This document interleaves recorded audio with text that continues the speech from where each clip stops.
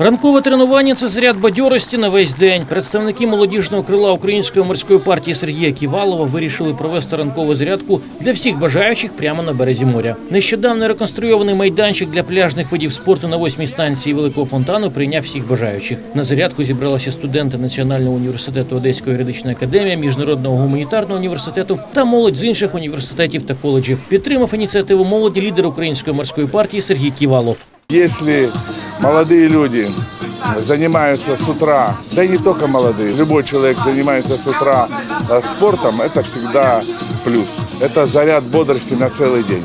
И проводим эти зарядки. Вот сегодня мы делаем такую зарядку с уклоном на бокс. На следующий день мы будем проводить зарядку с уклоном на развитие спорта бадминтона.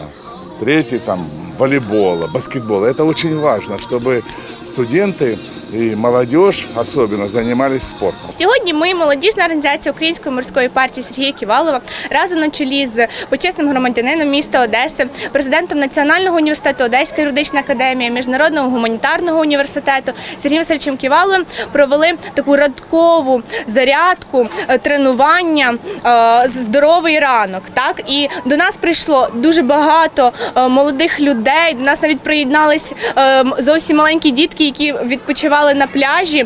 Не дивлячись на ранній підйом, спортсмени університету задоволені тренуванням та очікують продовження проекту. Ну, вообще, я давно занимаюсь э, спортом, более 8 лет, и всякие возможные спортивные мероприятия, не только я с радостью поддерживаю, потому что они укрепляют дух, они помогают нам быть э, действительно командой.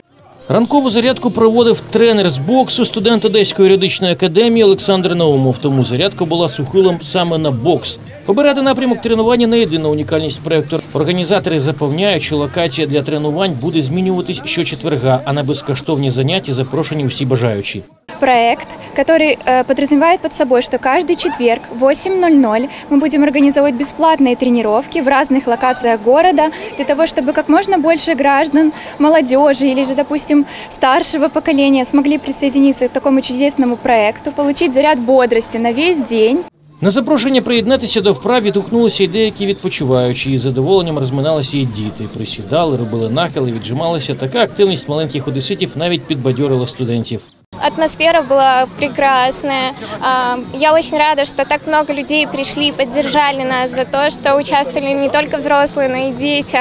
Зазначимо, що спортивна інфраструктура Національного університету Одеської юридичної академії та Міжнародного гуманітарного університету одна із найпотужніших в країні. Виші мають власні спортивні комплекси, стадіони, зали та відкриті майданчики для тренувань і проведення різних змагань всеукраїнського та міжнародного рівня.